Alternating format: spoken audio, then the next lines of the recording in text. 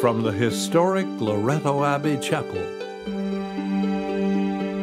with the kind cooperation of the Toronto Catholic District School Board, the National Catholic Broadcasting Council presents the Daily TV Mass.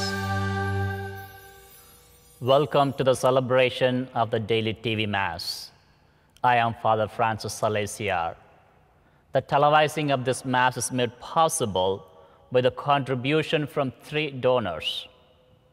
The first are Barbara Francis and family from Brampton, Ontario, in memory of Anthony Francis and for all her deceased family members, relatives, and friends. In thanksgiving for blessings and graces received and for the return of her family to their faith. The second are Ray and Norma Kalina Takte from Toronto, Ontario, in thanksgiving for their 45th wedding anniversary celebration on June 5th of this year, for blessings received and the gift of their two daughters, family, and relatives. The third is in honor of all those in our daily TV Mass community who are unable to attend Mass at their parish.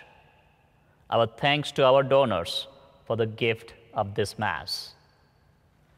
In the name of the Father, and of the Son, and of the Holy Spirit.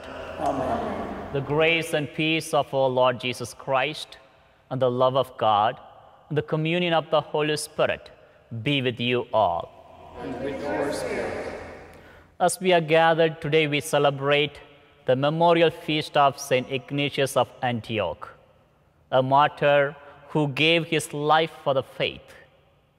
As we celebrate this Mass through the feast day and the liturgy of today, we are invited that at times in our own life we may face rejection because we stand for the faith, because we proclaim the gospel. And it is natural tendency for us to be anxious and to be worried. But the reading once again reminds us when the time comes, the Holy Spirit will give us what we need to speak. Let us ask God's mercy for the moments where we have failed to trust in God. I confess to Almighty God and to you, my brothers and sisters, that I have greatly sinned in my thoughts and in my words, in what I have done and in what I have failed to do, through my fault, through my fault, through my most grievous fault. Therefore, I ask Blessed Mary, our Virgin, all the angels and saints, and you, my brothers and sisters, to pray for me to the Lord our God. May Almighty God have mercy on us, forgive us our sins, and bring us to life everlasting. Amen. Let us pray.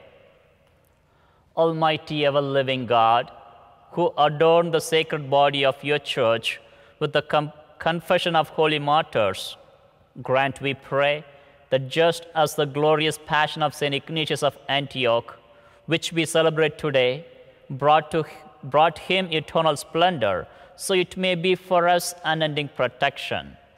Through our Lord Jesus Christ, your Son, who lives and reigns with you in the unity of the Holy Spirit, one God, forever and ever. Amen. A reading from the letter of Paul to the Ephesians.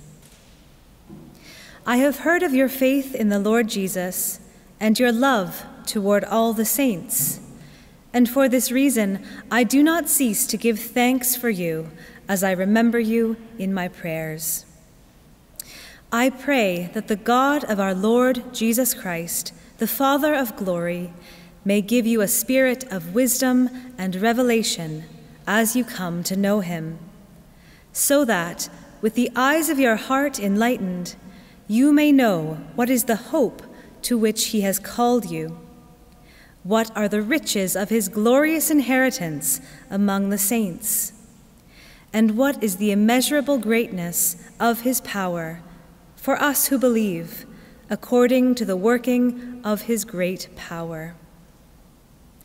God put this power to work in Christ when he raised him from the dead, and seated him at his right hand in the heavenly places, far above all rule and authority and power and dominion, and above every name that is named, not only in this age, but also in the age to come. And God has put all things under his feet, and has made him the head over all things for the church, which is his body, the fullness of him who fills all in all. The word of the Lord. You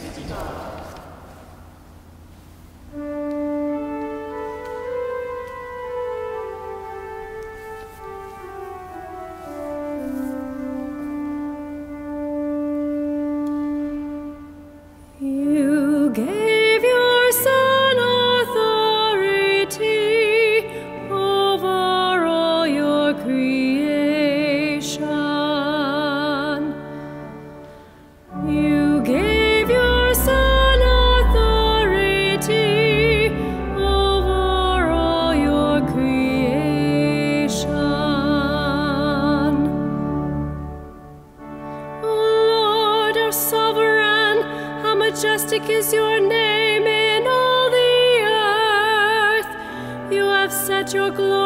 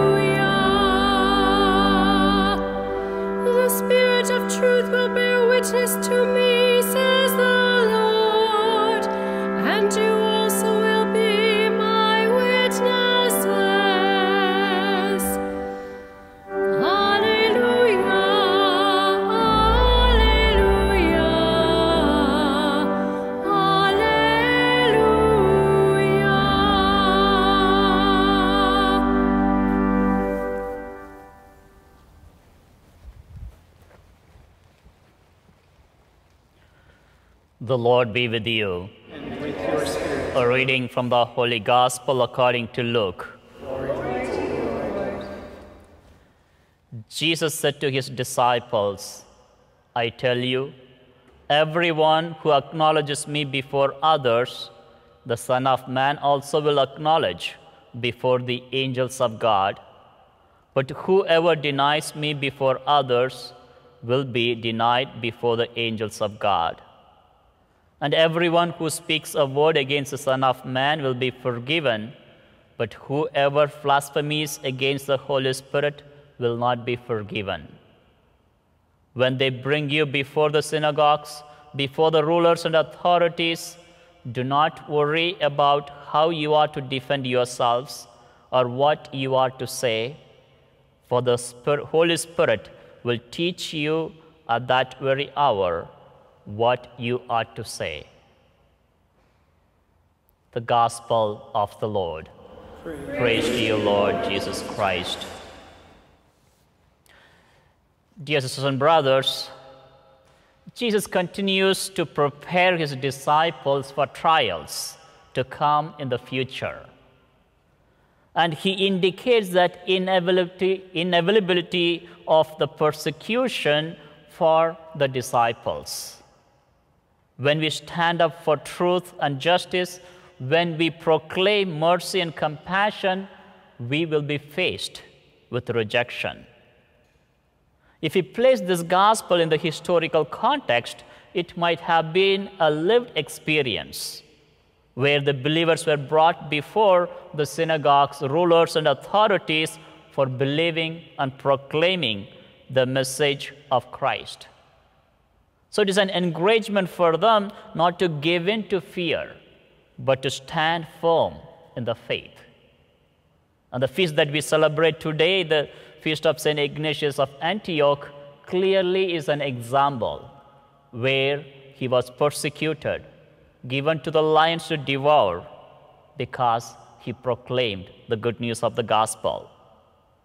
Down the road, for centuries, the believers have been dragged in front of the rulers and authorities, and their perseverance speaks of our faith today. Our faith is the fruit of their courage.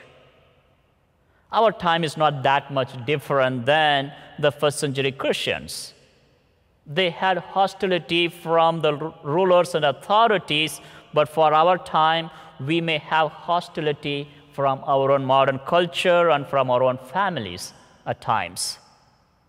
We may not face the persecution and suffer severely for our faith, but there will likely be times when we may find our religious beliefs and practices ridiculed and made fun of. We can be tempted at such times to go into the hiding to conceal our Christian identity. Even though we may not face harsh persecutions as the early church, we do have our own share.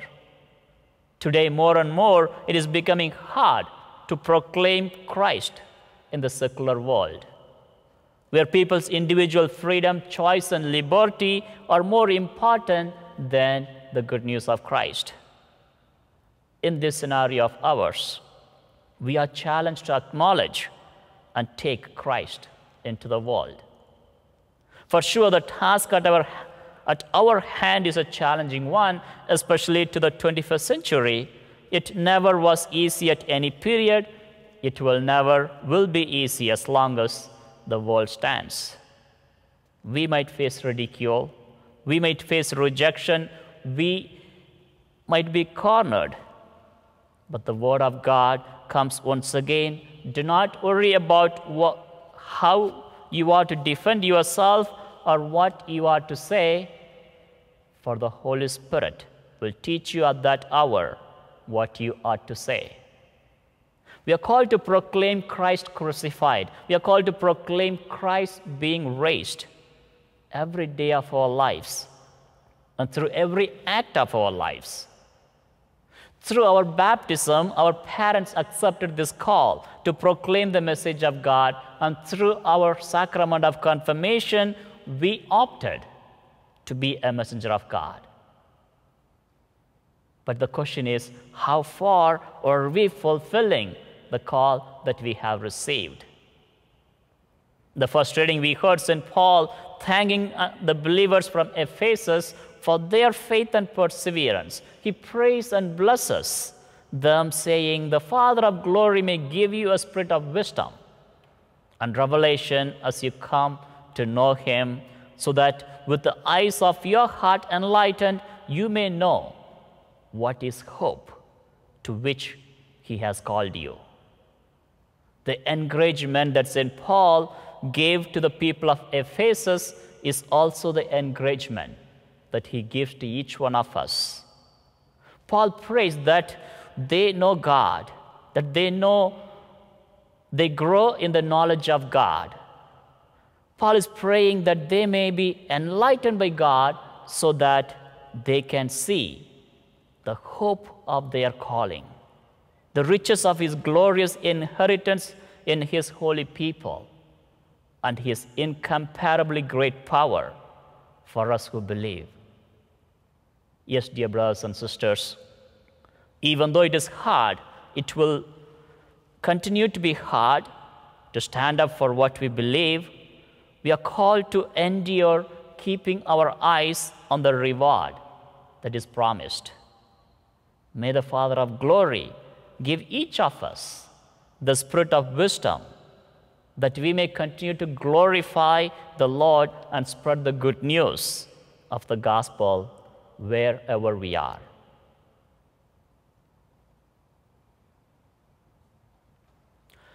Let us bring forth our prayers and petitions.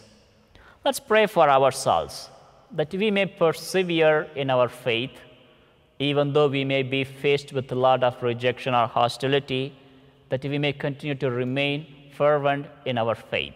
We pray to the Lord. Lord, Lord hear our prayer. For those who have fallen away from faith because of modern culture or whatever reason, that they may continue to experience the goodness of God and that they may return to the faith. We pray to the Lord. Lord, hear our prayer. For the sick and suffering and those who are homebound, still they are not able to experience the goodness of God, may we, each of us, be a messenger of God's good news to them. We pray to the Lord. Lord, Lord hear our prayer. For all of those in the daily TV Mass community who have asked to be included in our prayer intentions book. We pray that during this time of thanksgiving, we be grateful for all our gifts and be willing to share our goods and talents with each other. We pray to the Lord. Lord, hear our prayer. Gracious and loving God, we bring before you all these prayers, knowing and trusting you always listen to us, your children, through Christ our Lord. Amen.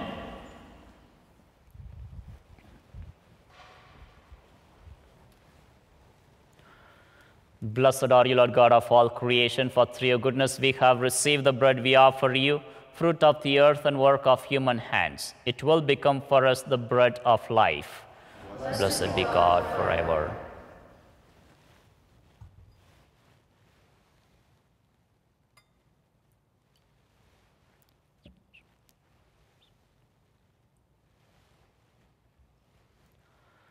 Blessed are you, Lord God of all creation, for through your goodness we have received the wine we offer you, fruit of the vine and work of human hands. It will become our spiritual drink. Blessed, be God forever.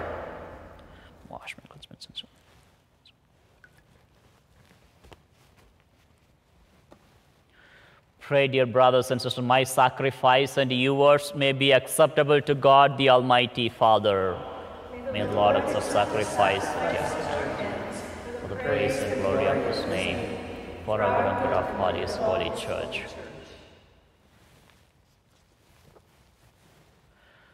May this oblation and our homage be pleasing to you, O Lord, just as you accepted St. Ignatius, the wheat of Christ, made pure bread through his martyrdom and passion, through Christ our Lord. Amen. The Lord be with you. And with your spirit. Lift up your hearts. Lift them up to the Lord. Let us give thanks to the Lord our God. It is right and just. It is truly right and just our duty and our salvation, always and everywhere to give you thanks, Lord, Holy Father, Almighty and eternal God.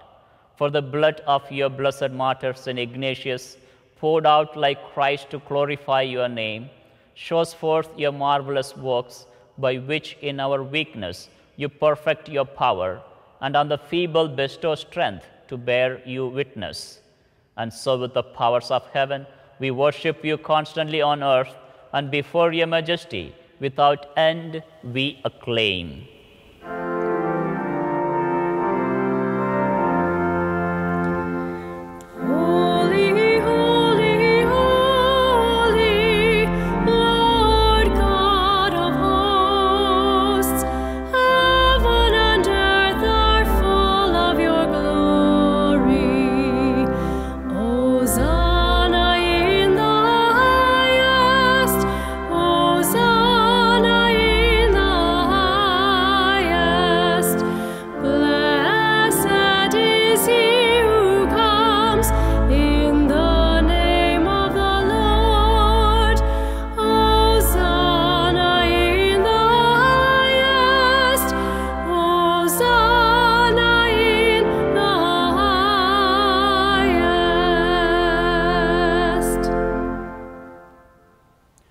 You are indeed holy, O Lord, the fount of all holiness. Make holy, therefore, these gifts, we pray, by sending down your Spirit upon them like the dew fall, so they may become for us the body and blood of our Lord Jesus Christ. At the time he was betrayed and entered willingly into his passion, he took bread, giving thanks, broke it, and gave it to his disciples, saying, Take this, all of you, and eat of it, for this is my body, which will be given up for you.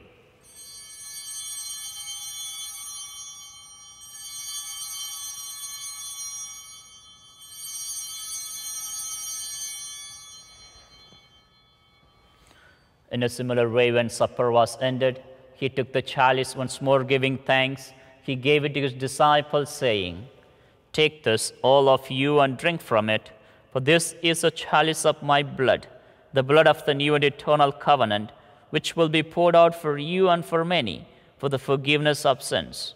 Do this in memory of me.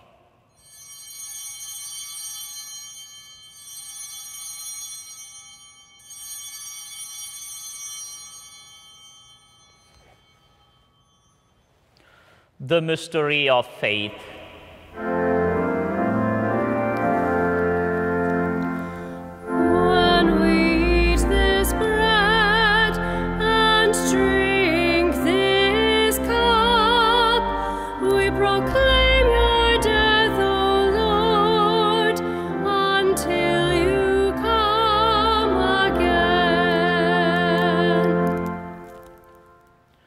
Therefore, as we celebrate the memorial of his death and resurrection, we offer you, Lord, the bread of life and the chalice of salvation, giving thanks that you have held us worthy to be in your presence and minister to you.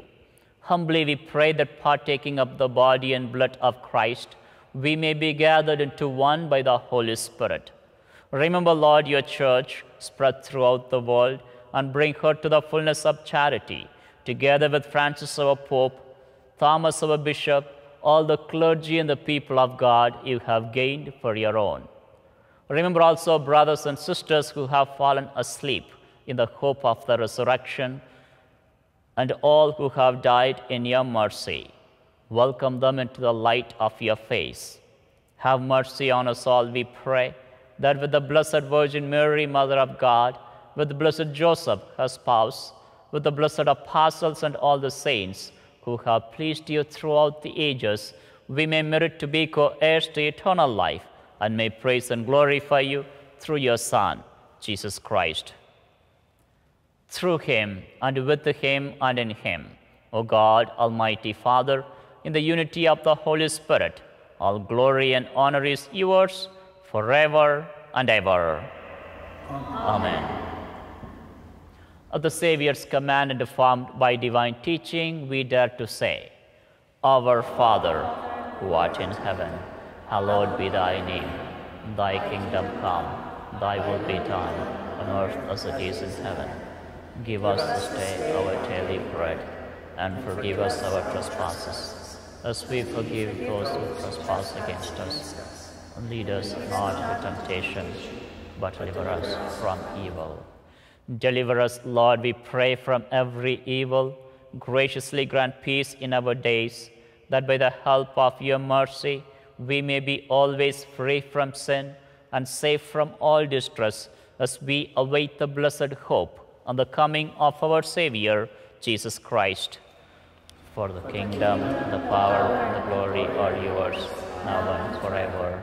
Lord Jesus Christ, who said to your apostles, Peace I leave you, my peace I give you, look not on our sins, but on the faith of your church, and graciously grant her peace and unity in accordance with your will, who live and reign forever and ever. Amen. The peace of the Lord be with you always. Let us offer each other the sign of peace.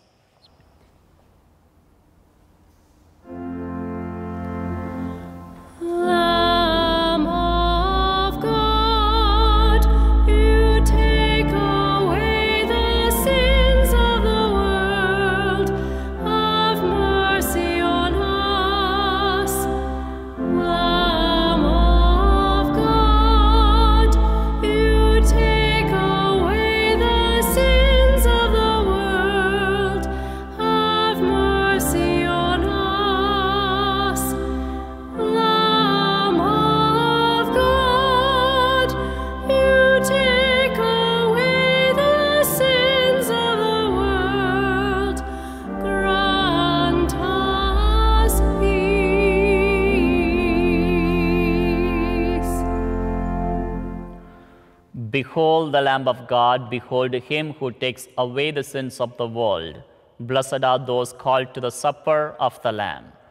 Lord, I am not worthy that you should enter under my roof, but only say the word, and my soul shall be healed.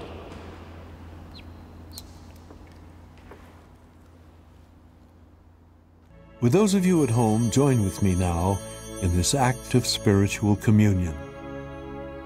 My Jesus, I believe that you are present in the Blessed Sacrament. I love you above all things, and I desire you in my soul. Since I cannot now receive you sacramentally, come at least spiritually into my heart. As though you were already there, I embrace you and unite myself wholly to you. Permit not that I should ever be separated from you. Amen. Let us pray. May the heavenly bread we have received, O Lord, on the feast day of St. Ignatius, renew us, we pray, and make us Christians in the name and in deed. Through Christ our Lord. Amen. Amen. The Lord be with you. And with your spirit. May Almighty God bless you, the Father, the Son, and the Holy Spirit. Amen. Let us go in peace. The Mass is ended. Thanks be to God. Our thanks to our donors for the gift of this Mass. Hail, Holy Queen, enthroned above, O Maria. Hail, Queen of mercy. Remember, if you can't sponsor a Mass, any contribution, no matter how small, will help keep Daily Mass on television. And you'll receive an income tax receipt for your donation.